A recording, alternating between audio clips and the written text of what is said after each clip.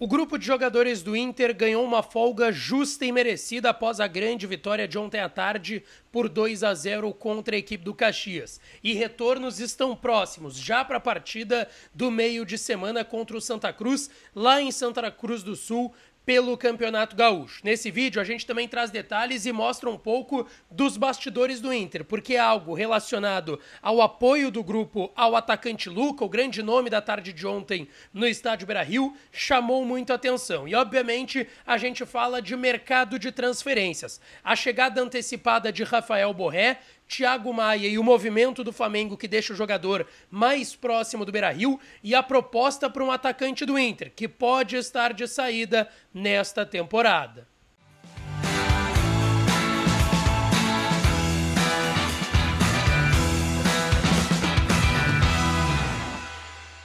Fala, minha rapaziada! Sejam bem-vindos a mais um vídeo aqui no canal Lucas Jans Repórter. E nesse conteúdo a gente vai trazer tudo que aconteceu no noticiário do Inter nesse dia 4 de fevereiro, ainda de repercussões do que foi a grande vitória do Inter ontem com o nome, a marca registrada de Luca. Luca Holanda, atacante que veio das categorias de base do Inter, gol de bicicleta, outro golaço e vitória do Internacional. Eu quero mostrar bastidores e falar muito de mercado de transferências nesse vídeo. Antes disso, não te esquece de deixar o teu like, te inscrever no canal e ativar ativar o sininho das notificações por aqui, que dá uma força enorme pra gente seguir com os conteúdos, quase nos 48 mil inscritos, em busca da marca de 50 mil pessoas, 50 mil inscritos aqui no canal. Tu que não é inscrito, já te inscreve, deixa o like e ativa o sininho para ser notificado de todos os conteúdos aqui do canal. E claro que esse vídeo e todos os outros têm o apoio de KTO. KTO.com, a melhor casa de apostas do país. É a minha casa de apostas e pode ser a sua também. Não perde tempo. Vai lá em KTO.com, faz o teu registro, usa o código DIAS e ganha 20% de free bet. É uma baita barbada pra tu sair brincando lá na KTO, tá certo? KTO.com, onde a diversão acontece. Rapaziada, eu quero aqui começar falando porque o Internacional esteve de folga nesse domingo, depois da vitória de ontem por 2 a 0 contra o Caxias, dois gols de Luca no estádio Beira-Rio. Folga para o grupo de jogadores hoje. Amanhã já tem reapresentação no CT Parque Gigante, vai ter a segunda e a terça-feira para trabalhar antes da próxima rodada do Gauchão, quarta-feira, nove e meia da noite, contra o Santa Cruz, lá no Estádio dos Plátanos, um dos estádios que mais gera polêmica por estrutura, vestiário, gramado, enfim. O jogo é lá em Santa Cruz do Sul e o Internacional do Eduardo Cudê deve seguir rodando o elenco. Assim, eu até perguntei pro Cudê na coletiva de ontem se ele vai seguir rodando o elenco da forma com que ele tá fazendo. Titulares no Beira-Rio, reservas fora de casa por conta dos gramados também. Ele não garantiu que o time vai ser mais uma vez inteiramente reserva. Dois jogos com reservas, time completo de reservas. O Inter não ganhou. Empatou em 0 a 0 em Juí contra o São Luís e perdeu lá em Bagé contra o Guarani no último meio de semana. Essa é a grande dúvida. A tendência é que a gente veja dois jogadores voltando a ficar à disposição do técnico Eduardo Cudê.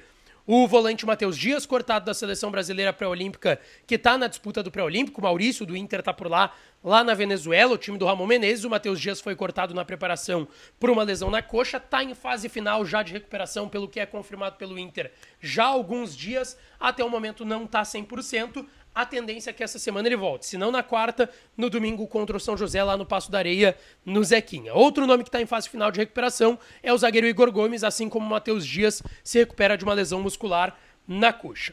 Pessoal, há pouco foi divulgado pelo Inter no canal no YouTube do clube. Eu deixo aqui no primeiro comentário fixado o link dos bastidores do Inter e também lá na plataforma do Mundo Colorado. Os bastidores, imagens que ninguém viu da vitória do Internacional contra o Caxias. E um ponto me chamou muita atenção, que é o apoio dos jogadores mais experientes e do grupo como um todo ao atacante Luca, que ontem foi o nome do jogo contra o Caxias, dois gols, o primeiro um golaço de bicicleta, o segundo gol muito oportunismo, toque meio cavado, meio de bico na saída do goleiro Pitol da equipe do Caxias, mas é um jogador que tinha pouquíssimos minutos até esse momento. O Luca entrou ontem, teve um tempo inteiro para jogar, antes tinha 3, 4 minutos em um dos jogos do Inter nesse Campeonato Gaúcho, teve tempo, fez dois gols e a tendência é que ganhe sequência com o técnico Eduardo Cudê. E eu quero colocar aqui um trecho rápido dos bastidores do Inter mostrando esse apoio dos líderes do elenco, dos jogadores mais velhos ao garoto Luca.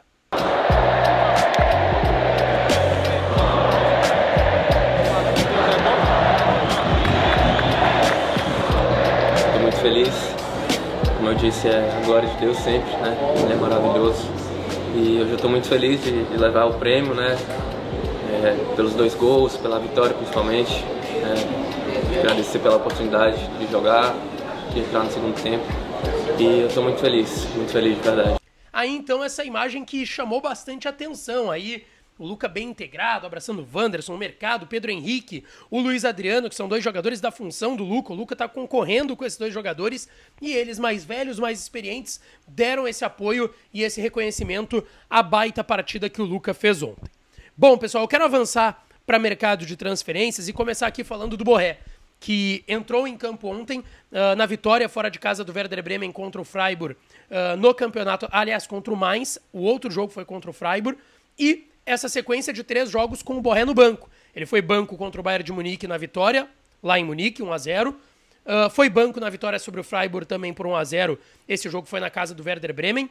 E foi banco ontem na vitória contra o Mainz por 1 a 0 Teve mais minutagem do que nos outros jogos, que ele jogou 5, 10 minutos. Ontem ele teve 25 minutos, não teve nenhuma grande ação na partida, mas mais uma vez ele foi punido pelo Werder Bremen, a gente sabe bem estão incomodados. Ele foi anunciado pelo Inter, posou para fotos com a camiseta do Internacional e ele fez essa publicação aí nas suas redes sociais. E a cada vez mais ele vai fazendo publicações, jogadores do Inter curtindo as fotos dele, uh, fotos com o grupo do Werder Bremen já dando adeus.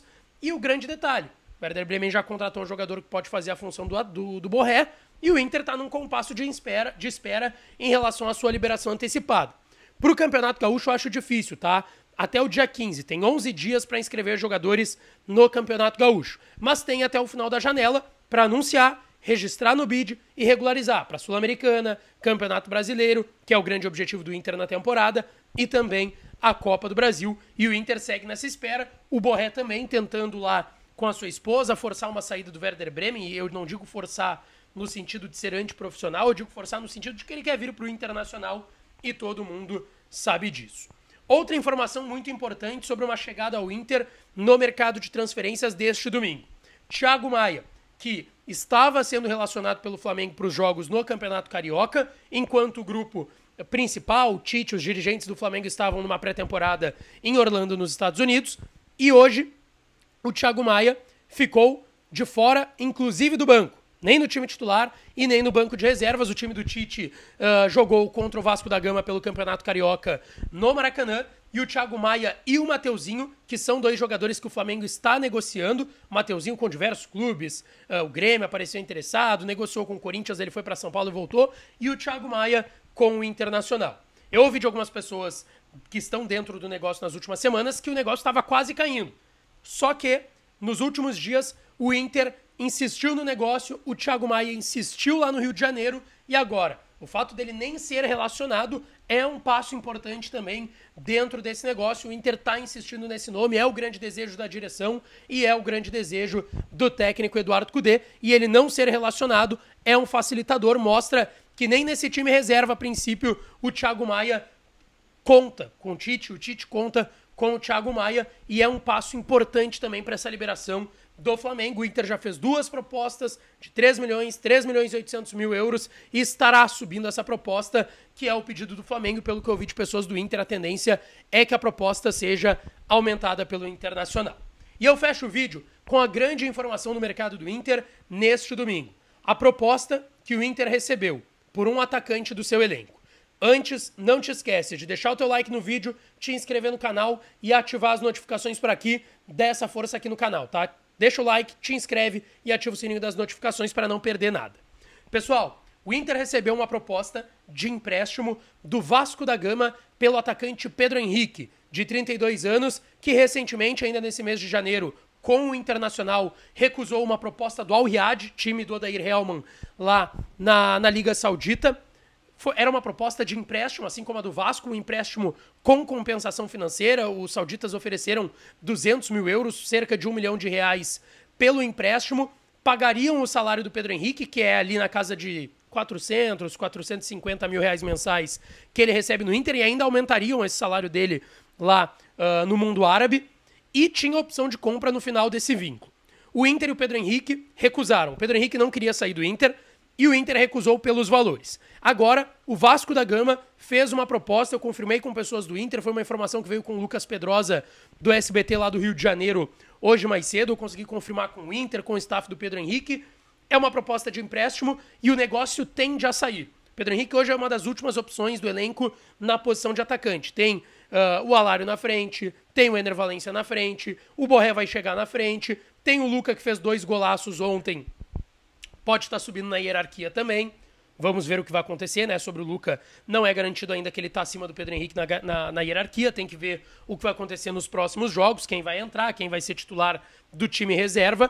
Mas essa possibilidade de saída chamou mais atenção do Pedro Henrique, por se tratar de futebol brasileiro. Não precisar sair do Brasil com a sua família. A gente sabe, ele tem família no Rio Grande do Sul, ele é colorado desde pequeno e a proposta do al teve um motivador para ele recusar, que era o fato de ter que voltar para um mercado uh, estrangeiro, um mercado diferente e ter que ir lá para o mundo árabe, que é até um mercado que o Pedro Henrique não tem no currículo. Até o momento, as conversas ainda estão acontecendo. O Inter, mesmo que libere por empréstimo, quer uma compensação financeira relevante pelo Pedro Henrique e o Inter não se opõe a negociar esse atleta. Está negociando com o Vasco e esse negócio pode acabar saindo. O que, que tu acha sobre o Pedro Henrique? Ficaria com ele para a próxima temporada ou não? Deixa aqui nos comentários que eu estou interagindo com vocês. E não esquece de deixar o teu like, te inscrever no canal e ativar as notificações para aqui, tá certo, rapaziada? Um beijo, um abraço e até a próxima.